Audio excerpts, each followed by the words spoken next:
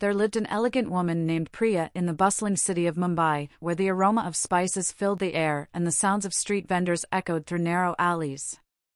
Priya was known for her graceful demeanor and compassionate heart. Her deep brown eyes sparkled with warmth as she moved through the crowded streets, always ready to lend a helping hand to those in need. In the heart of Mumbai, Priya ran a small but charming cafe, adorned with vibrant colors and fragrant flowers. It was a haven for weary souls seeking solace and a taste of Priya's delectable creations.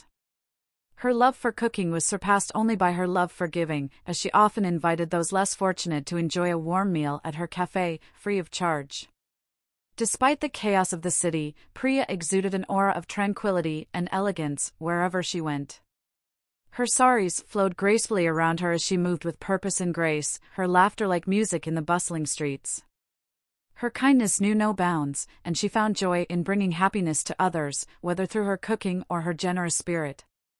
In the evenings, Priya could be found strolling along the beach, the salty breeze tousling her hair as she watched the sunset paint the sky in shades of pink and gold. It was here, amidst the gentle lapping of the waves, that she found solace and inspiration. With each passing day, her love for life and for those around her grew stronger, like the steady rhythm of the ocean tide.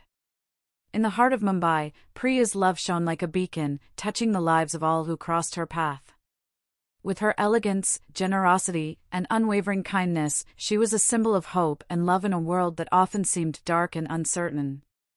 And as the city slept beneath the blanket of night, Priya's light continued to shine bright, illuminating the hearts of all who knew her.